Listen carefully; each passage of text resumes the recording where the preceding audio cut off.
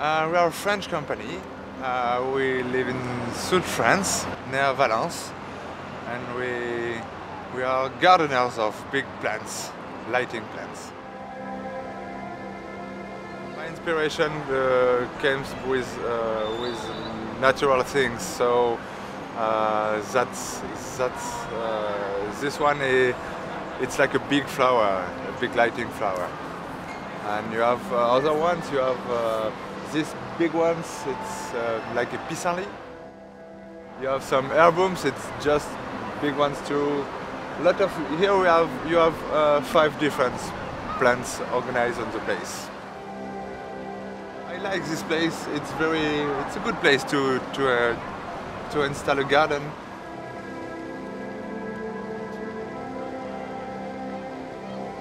We like that, the one in the middle, and we like the red ones over there. Can you stand above it, stand over them? They're lovely, really nice, aren't they really nice? Oh, he absolutely loves it. He's been on about it all week, so and to be honest, I don't mind it myself. I'm a big Fiat art, really.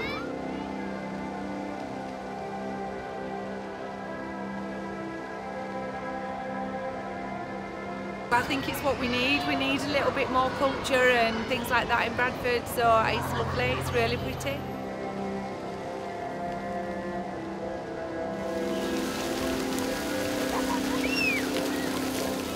The Lights in Bradford's been, been here for a number of years um, and they sort of look at it as it attracts people into, into a city centre, brightens up the place, it's all festive celebrations and basically what, what we're here to do is give people disabilities jobs so they sort of come, in, come into Festival Lights, work a normal job, train them um, and we're trying to get the full potential of the people and eventually if we can progress them, progress them to private industry.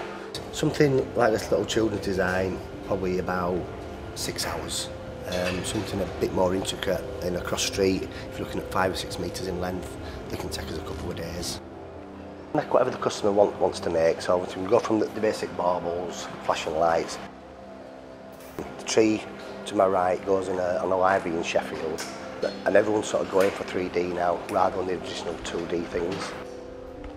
Last year, we came up with a proposal to sort of just do some like snowfall and effect, and the, basically we, we govern by the, the lighting columns, um, which are like three metres by half a metre wide.